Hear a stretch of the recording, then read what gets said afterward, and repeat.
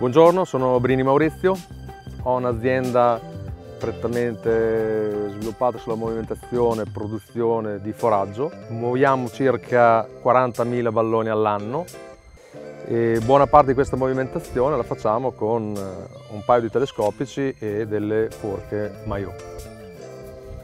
Abbiamo in gestione circa 700 ettari di foraggio,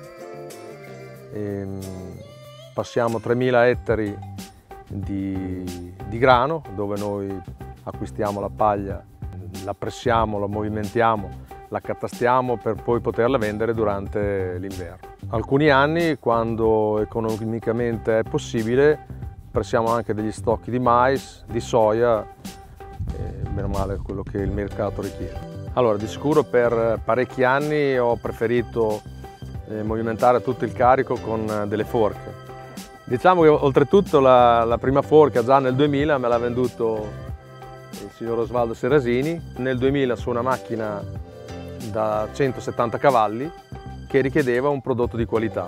E secondo me per la nostra movimentazione, per quello che avevo visto sul mercato, il prodotto Maillot era un prodotto di qualità.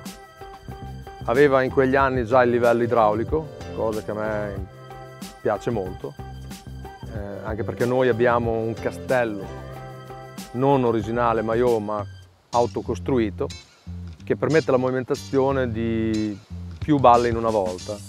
E durante diciamo, il trasporto stradale un castello così alto con una forca che ha il livello meccanico ci avrebbe creato problemi a transitare sulla strada.